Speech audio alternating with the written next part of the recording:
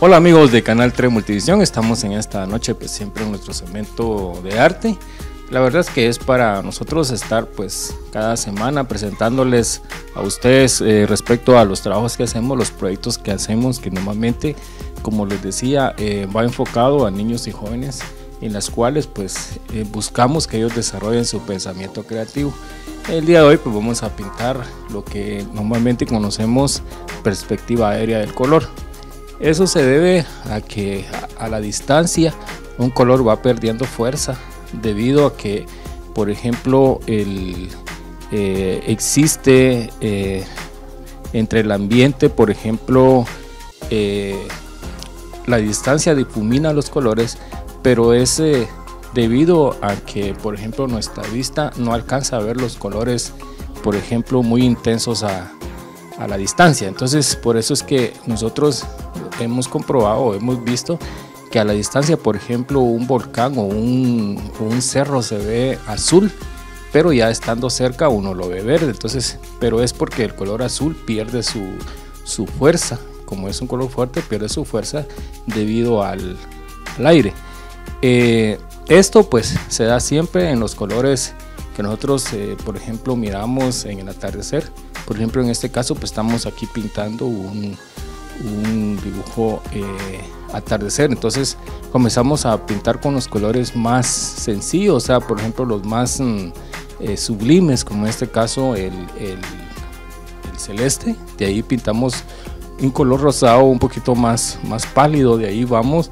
Y ya, por ejemplo, los colores que tenemos enfrente ya son más intensos. Entonces a eso se le llama perspectiva aérea del color, cuando hay una difuminación o cuando hay una degradación de color. Entonces aquí nosotros con nuestro pincel estamos diseñando lo que es la técnica esa que yo les decía y posiblemente pues estamos elaborando un árbol que ese ya está en nuestro primer plano el cual pues vamos a hacer unas ramitas de color negro y unas hojas de color negro las cuales pues representan eh, lo frondoso de este árbol. Por último pues hacemos la parte de abajo que es eh, por ejemplo el llano y pintamos algunos captos y normalmente pues esto los vemos en, en lugares desérticos. Entonces para darle un poquito más de por ejemplo vistosidad o más armonía a nuestra obra.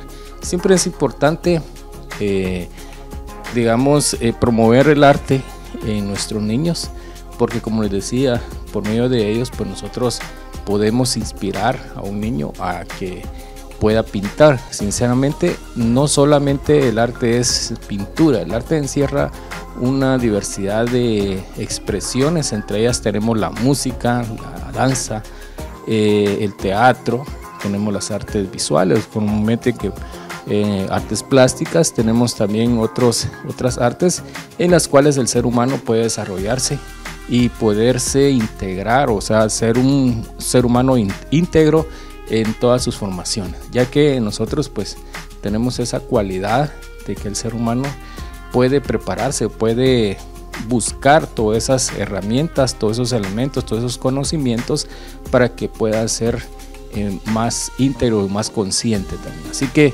les deseo una muy buena noche. Les saludo el profesor Tado de la Rosa Pérez, siempre invitándolos a que cada semana nos envíen nuestro segmento de arte. Muy buenas noches.